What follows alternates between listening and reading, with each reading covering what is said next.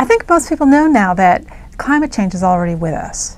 There are warmer warm periods now than we've ever seen before, and there are fewer truly cold periods in most parts of the world. We're seeing melting glaciers, we're seeing changes in sea ice, and there's lots of other changes as well. They have really serious implications for people and for ecosystems.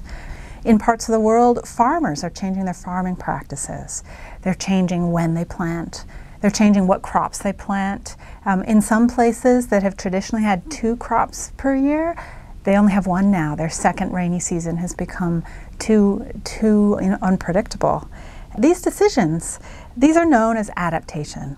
Adaptation is the process of responding to the, these changes in the climate so as to reduce harm or um, to take advantage of, of benefits that might come from the changing climate.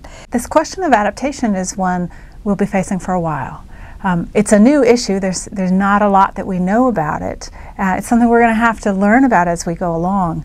But one thing that I think is clear from the outset is that poor people have fewer adaptation options and they're hit harder by um, some of these impacts. For a poor family that eats the food they grow for themselves, a flood or a drought might mean hunger or it might mean homelessness.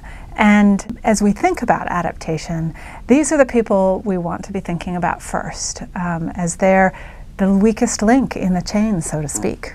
As we think about people's adaptation to climate change, if you can imagine a graph of, um, say, a household's well being, um, where the x axis is time and the y axis is their well being, um, everyone goes through their normal ups and downs, and that's what we're seeing at the start of this graph.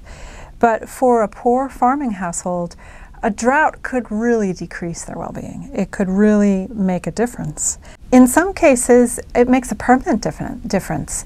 In order, for instance, to um, to survive the drought, they might sell important assets like um, like a, an animal or um, some of their tools, and as a result, they um, might actually not return to their original level of well-being because they've lost assets they use for their livelihoods. And so we see here how a drought can can permanently keep people in poverty um, if uh, they don't have what's called resilience.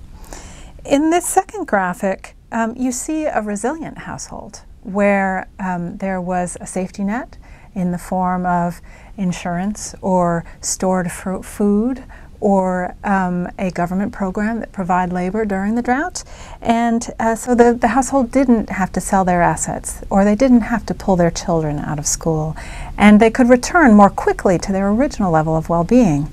This resilience is a really important asset as the climate changes. This third graphic represents a family that has moved beyond resilience to really um, having adapted to a new climate.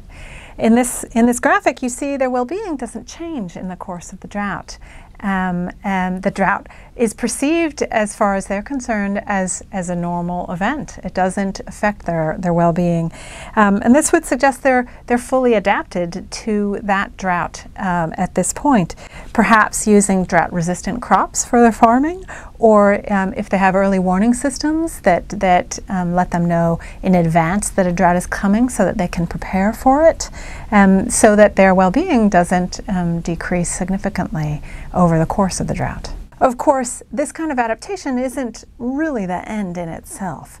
For a poor farming family, their normal levels of, of well-being are really not adequate. Um, in, a, in many parts of Africa, in Latin America, in poor parts of Asia, people are really trying to raise their well-being. And to do this while the climate changes is the real thing that we're aiming at as we think about adaptation for poor people.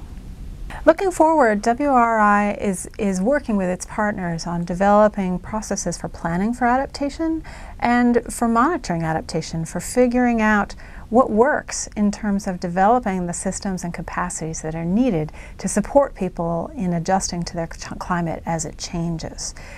Adaptation requires action at a number of different levels. WRI has work on the global level, for example, and the international climate change negotiations um, have elements that, that are aimed at supporting and facilitating adaptation.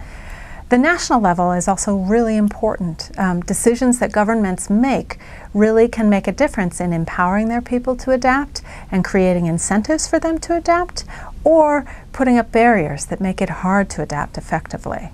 There's also a whole host of decisions at the local level and institutions that are really important for people, particularly poor people, um, to adapt to their changing climate. This is a, a brand new challenge um, for the whole world to figure out how do we adapt to our changing climate. And it's something we're all going to face together, uh, but some people will be hit harder than others, and it's an opportunity for the global community um, to reach out and support those who are most vulnerable.